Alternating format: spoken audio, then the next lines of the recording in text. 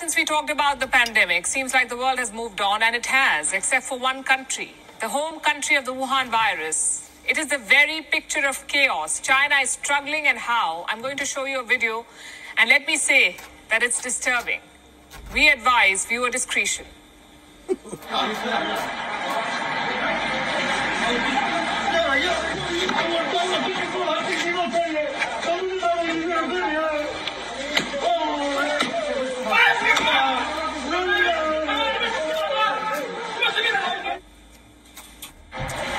video is believed to be from Shanghai, a healthcare worker violently enforcing quarantine orders.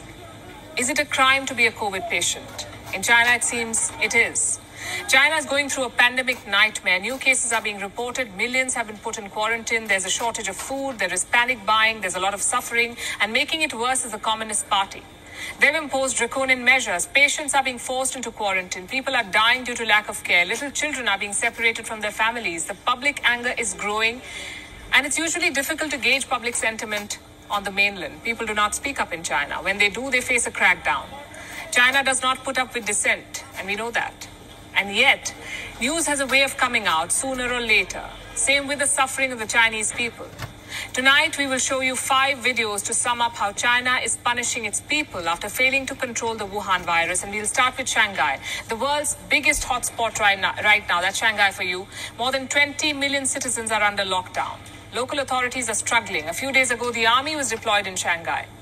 That's how bad the situation is. The city's healthcare system has collapsed, but China is still sticking to the zero COVID rule, the one that has seen zero success. Zero COVID means mass testing. Zero COVID also means tough quarantine, and it is not delivering.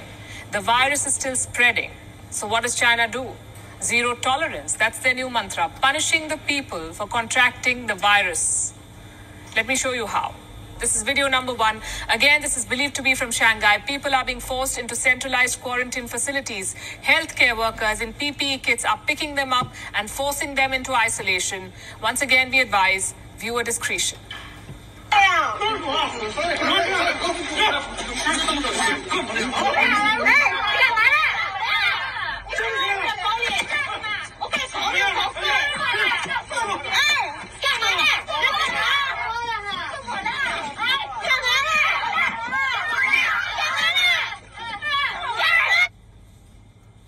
Citizens being shoved into buses like they're criminals.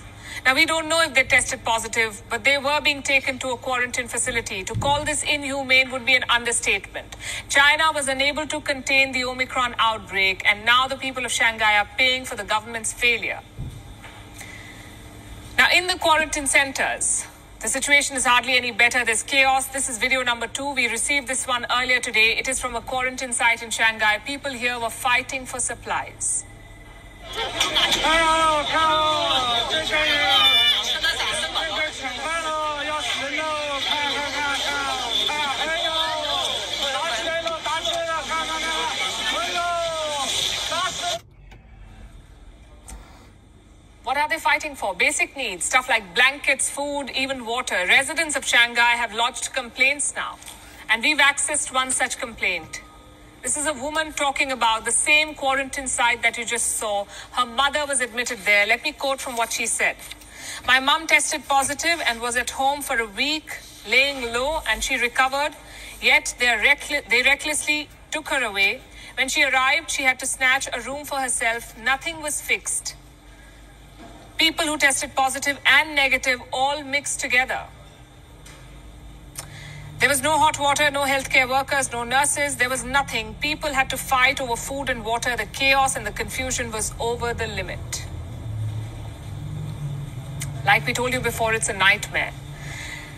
And some people are now op- openly defying rules. This is video number three. It shows a man walking on the streets of Shanghai. He defied the law. He stepped out without a mask. Now look at what they did to him. 为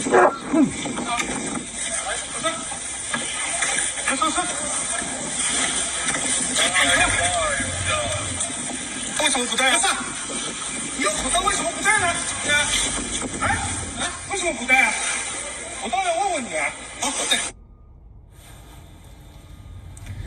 The man was hauled into a police vehicle and taken away. He was accused of violating pandemic prevention rules. Taking off the mask may not be the best way to protest, we agree, but the Chinese people say they've had enough. Here is another one. Video number four. It's of an old man defying lockdown orders.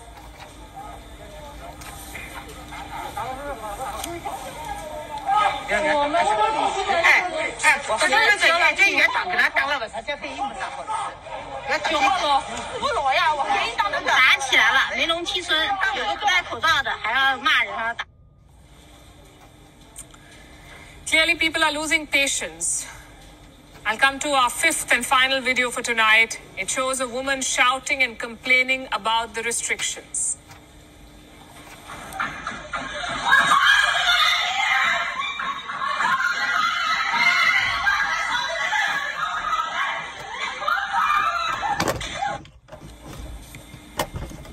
That's what happens when people lose faith in their government. Defying rules in China can cost you a lot. Yet these people have been pushed to the end of their tether. We hope they can recover safely. And we must say, this is the same China that has repeatedly declared success over its homemade virus. The same China that has been telling the world to follow its playbook. Today, it stands exposed. The Wuhan virus is out of control, and the zero COVID strategy is a big flop. WION is now available in your country. Download the app now and get all the news on the move.